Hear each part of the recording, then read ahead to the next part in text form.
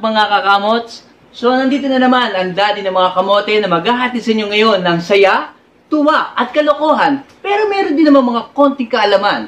Dahil ako ang daddy ng mga kamote! Oh my God! Wow! Oh my! Na po. Ito na po tayo ngayon. So, nakita niyo naman kung anong topic natin ngayon. Regarding po ito sa napapanahon, at talaga naman napapanahon, at napapanahon pa rin talaga, na Burr months. So, ano ba yung tinatawag na Burr months? So, lalo sa mga nakaka-relate ngayon, pagka sinabing Burr months, excited na yan. Kasi nandiyan yung September, October, November, December. Lalo na yung December. So, sabi nila, napakasaya pagka Burr months.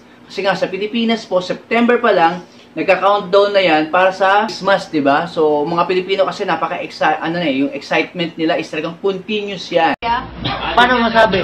Simulan natin ngayon. Ano nga ba yung happy parts at sad parts ng Burma? At unang-una, pagka September, meron tayong inaabangan. Isipin mo kung ano yun. Oh, di ba? Alam mo kagad kung inaabangan mo? Yung pagkanta ni Jose Marichan. Ba? Whenever I see girls and boys, meron ding LGBT.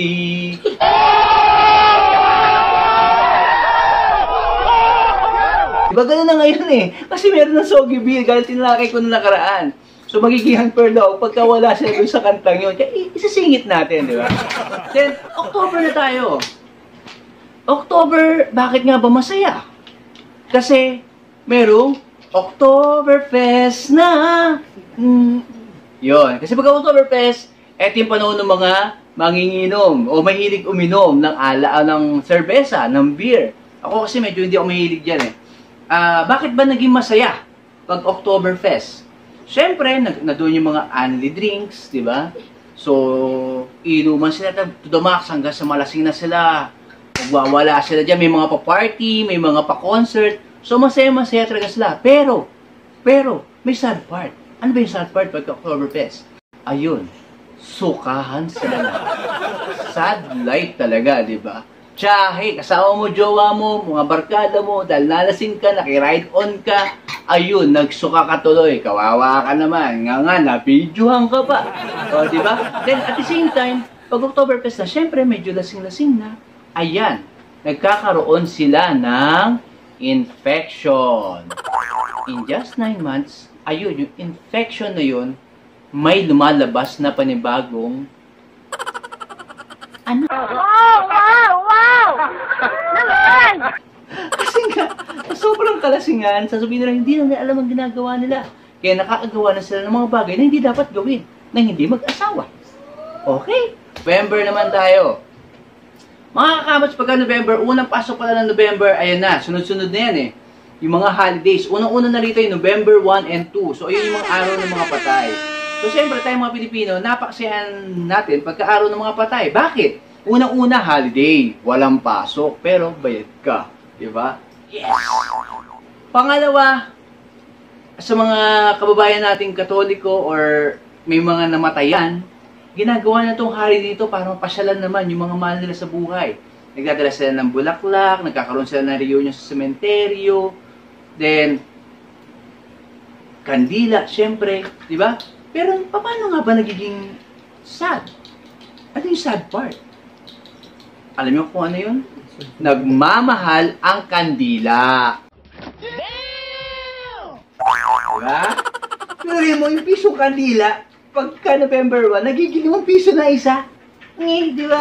O yung mga bulaklak, eto sad part, bulaklak bumili ka, pagka mahal-mahal ng bulaklak na binili mo, na halos doble pa ang presyo, Siyempre, dadalhin mo yun sa sementeryo, ilalagay mo doon sa puntod ng mga ng minamahal mong namayapa.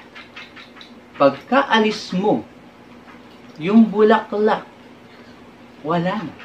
Bakit? Ayun, binenta na sa iba. Kinuha at napunta na sa puntod ng iba. Pasa-pasa lang yan. Dahil nga naman mga Pilipino, masyadong talentado.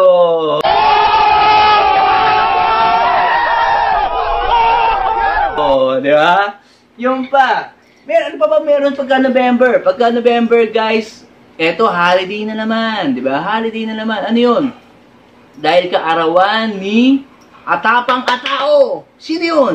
Walang iba kundi si Andres Bonifacio. Di ba? So again, holiday na naman yun. So napakasaya na naman namin mga empleyado. Bakit? Wala kang pasok, pero may sahod ka. Di ba? So yun, mga kababayan. Pagdating naman ng December, ano ano naman kaya yung mga masaya tuwing December? Siyempre, pagka December, ayan na, nagsisimula na yan. Darating yung mga pagkain ng bibingka, ayan, lalabas na yan, di ba? Puto bongbong, napakasarap naman talaga. Ang satellite lang pagka naubusan ka, nga nga, di ba? Then, next naman po, ah, pagka December, ah, marami pagka December. Ayun, caroling, yung mga bata nangangaroling na yan, napaka-excited yan. Pasok pa lang December niya, nakikita mo yan, nagpupukpuk na lang mga tansyan, gumagawa na ng mga tambol nila, para ready-ready na sila. Yung iba nga sumasayaw na ngayon eh. Pero ano naman ang nagiging sad part? Pinagpagawa mo puntahan, kinantahan mo na lang, Merry Christmas ang aming bati. Biglang sasabihin sa'yo, Patawan! Patawan! Di ba? Nga nga na naman. Kakanta ka na, Thank you, thank you. Ang babarat ninyo, thank you. O, nga nga nga, wala na naman. So again guys, napakasaya talaga pagka December. Kasi meron pa eh, ah, ano ba ba? Mm, ah, ito. Maraming makaka-relate nito. Pagka December, syempre, di nawawala ang Christmas Party!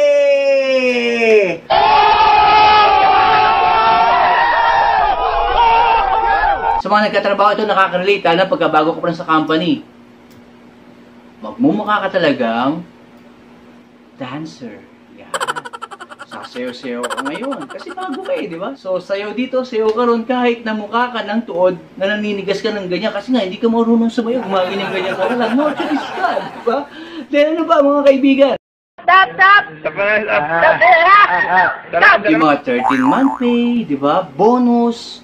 Napakasaya mo. Hindi pa parating yung araw na yon. Tuwan-tuwa ka na. Pero ang sad part dun, may isa pang nag-aabang, lalo na sa may asawa. Pagkahawak na pagkahawak lang, hindi mo, actually, hindi mo nahawakan yung 13-month pay mo at yung bonus mo. Wala nang ka, wala nang kahintuhin to, nagtitext sa'yo asawa mo. Mahal, natanggap mo na ba bonus mo? Mahal, natanggap mo na ba 13-month pay mo? Yung utang natin, babayaran na natin, i-ready mo na. So sad life, di ba? Pero buti na lang, at least may pambayad ka. Eto na, uwi ka na ng bahay, hindi mo na natatanggap dahil ATM mo nasa asawa mo. Nga nga, kahit piso, walang natira. Nasa commander mo na. di ba? Ano ba, mga kaibigan? Araw ng Pasko, lalo sa mga bata. Excited yan, di ba? Minsan nga, yung pinag-Christmas party, iba pa yun sa pamasko nila. So, siyempre, todo bihis yan. Maaga pa lang yan, nagbibihis na yan, gumagayak na yan, pupuntahan na yung mga ninot ninang nila. Ready ready na, praktisado pa nga yan eh. Gumaganyan na yan. Parating pa lang ang Pasko, gumaganyan na yan. Nagpa-practice na yan. Mano po, Ninong? Uh, utusan na ng mga magulang na na yan. Ano ang sad part? Si Ninong, si Ninang, ayun, nagtago na.